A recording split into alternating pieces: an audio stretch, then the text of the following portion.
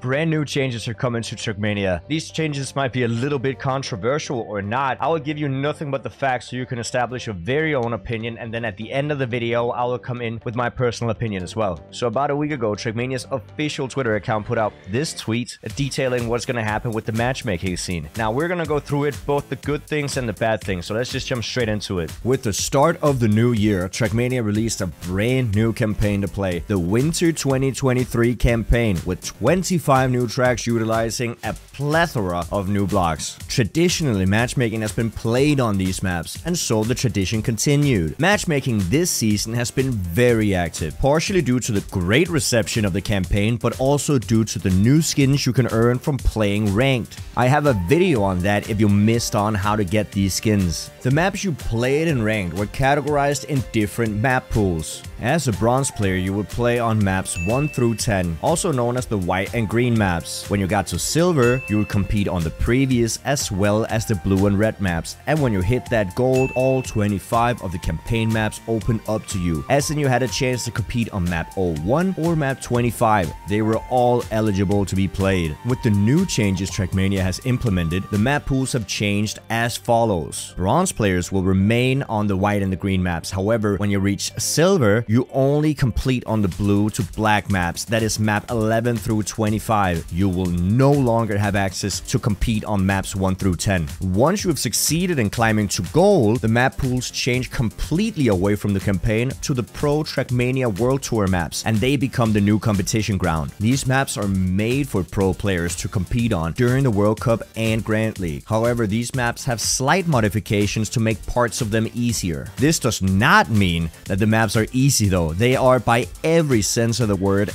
difficult. But why? Why make this drastic change? Let's take a look. The Trackmania World Tour is just around the corner. This means Trackmania Esports is about to kick off. I'll make a video very soon detailing just what this means, where and when to watch it, and what it's all about. But why is it relevant? Let's take a look at some very interesting parts of the event. First of all, Trackmania has made ranked game mode the introduction to Trackmania as an esport. You will climb your way in the ranked game mode to become eligible to compete in the regional tournaments, which could lead to the Challenger League, to the Grand League, and finally to the World Championship. Now, because Nadeo is making ranked matchmaking the stepping stone to getting into the professional esports scene, they have chosen to incorporate these competitive esport maps into the map pool. Even furthermore, they've incentivized pro players to compete in the ranked game mode. So how have they done this? Well, the rulebook for Trackmania World Tour is very long, but if we take a look at this very specific part, we can see the point distributions for the seasons. As can be seen, there are points to be gained based on your team's ranking. These points and what they mean are of no importance for us right now. All you need to know is that pro players are now incentivized to be playing this ranked matchmaking. Moreover, Trackmania Esport has changed its format to a 2 versus 2 format, and the ranked matchmaking queue will reflect that. The game mode will be changed from a 3 versus 3 to a 2 versus 2 format on January 21st, 2023. What do I have to say about all this? And let's get into it. First of all, I want to say that I'm all for ranked matchmaking being the introduction to the esports scene. I'm all for the pros being incentivized to play the ranked matchmaking game mode. It's great, especially because the casual players that are trying to strive to become professionals have the option to play against them if they reach a high enough rank. But I do want to talk about the new map pools and how they've introduced them. Let me walk you through this from a perspective of a new player. You open ranked for the first time and compete against like-minded bronze players on the first 10 maps of the campaign. These maps are short and sweet, easy to learn but hard to master. Once you've battled your way through this rank and you finally hit silver, you get thrown into 15 brand new maps. All of the ones are significantly harder than the first 10, especially if you jump from playing let's say map 5 and jump to a competitive match on map 21. But okay, you take a break from ranked because you can at least train the maps in the campaign. You grind the last 15 maps on the campaign, maybe you get author times on all the maps, jump back into rank and start pushing towards that gold rank. Finally, that gold rank hits. Now what awaits? 10 new maps